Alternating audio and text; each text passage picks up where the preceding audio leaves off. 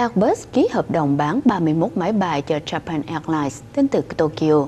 Hãng hàng không Japan Airlines hôm nay cho biết họ sẽ đặt mua 31 máy bay A350 của công ty Airbus trị giá 9.5 tỷ Mỹ Kim, làm suy yếu sự thống trị của Boeing trên một thị trường chiến lược. Thỏa thuận này bao gồm khả năng mua thêm 25 máy bay A350, có thể đưa tổng số lên đến 56 máy bay.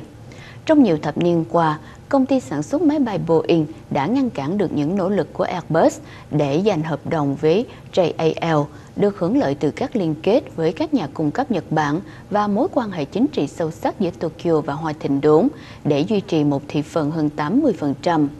Japan Airlines sẽ mua các máy bay thân rộng A350 của Airbus sau một cuộc cạnh tranh dữ dội giữa hai công ty sản xuất máy bay, trong khi hai hãng hàng không hàng đầu của Nhật Bản đang muốn mua hàng chục máy bay đường dài trong thập niên tới. Tuy nhiên, sự chậm trễ trong sản xuất và những vấn đề bình điện làm cho các máy bay 787 Dreamliner bị ngừng bay đã làm hoang ố hình ảnh của Boeing và tạo nghi ngờ về khả năng của công ty sản xuất máy bay Hoa Kỳ để giao các máy bay đúng thời hạn.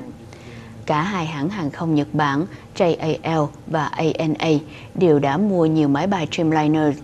Chủ tịch và giám đốc điều hành của Airbus, ông Fabrice Prege cho biết, cho đến nay, đơn đặt hàng của JAL là đơn đặt hàng lớn nhất trong năm 2013. Các máy bay Airbus mới của JAL sẽ bắt đầu hoạt động trong năm 2019. Cuộc chiến giữa các nhà sản xuất máy bay này sẽ chuyển sang ANA. Hãng hàng không này cũng đang tìm kiếm khoảng 25 máy bay mới để thay thế cho các máy bay đường dài Boeing 777 từ năm 2020.